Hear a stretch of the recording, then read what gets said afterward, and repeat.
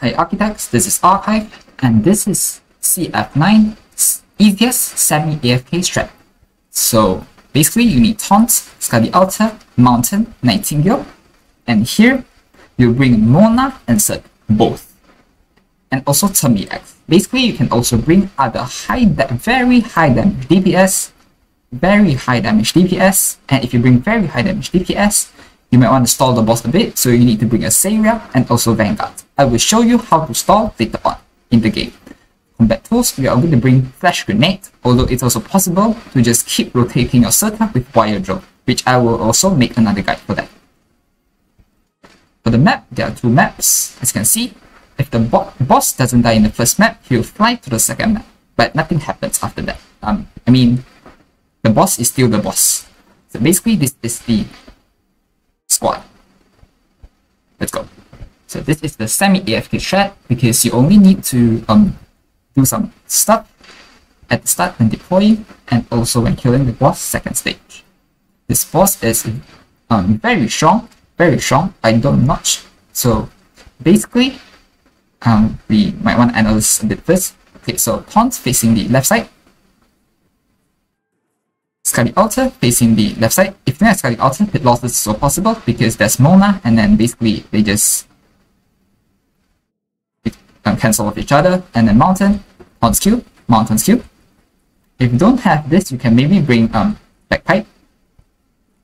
And now Nightingale.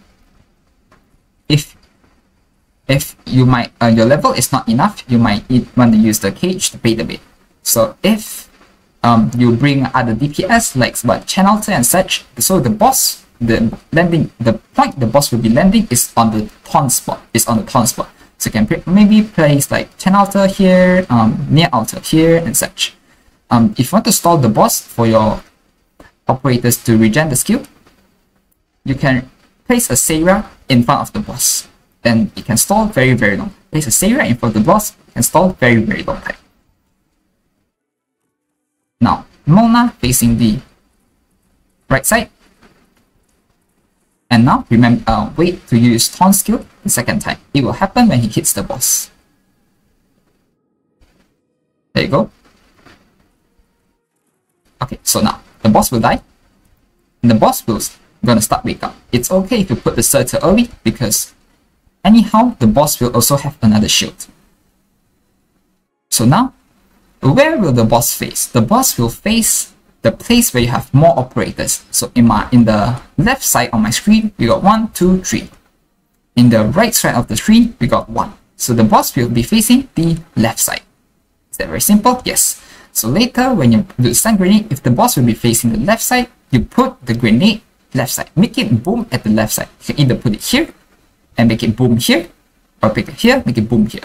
Don't let the flash grenade boom behind the dragon because that will do nothing. Okay, now the boss flies up. After one hit, you can see he is no more in the immortality state. So give him the stun grenade and use all of the freaking skills. And also your term X.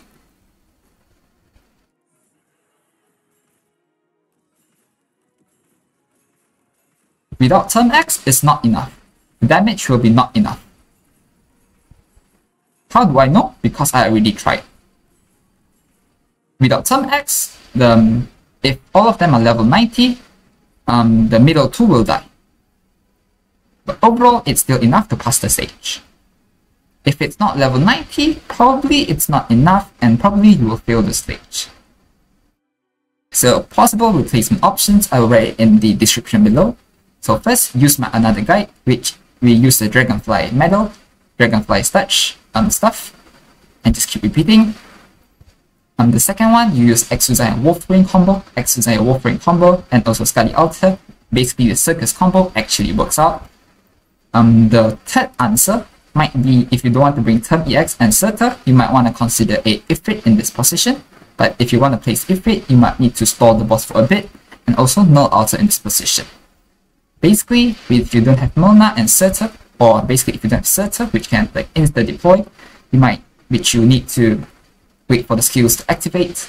That means that you need to place like operators behind um you need operators that need to have their skills prepared before that, you need to use Saria to stall the boss as long as you need.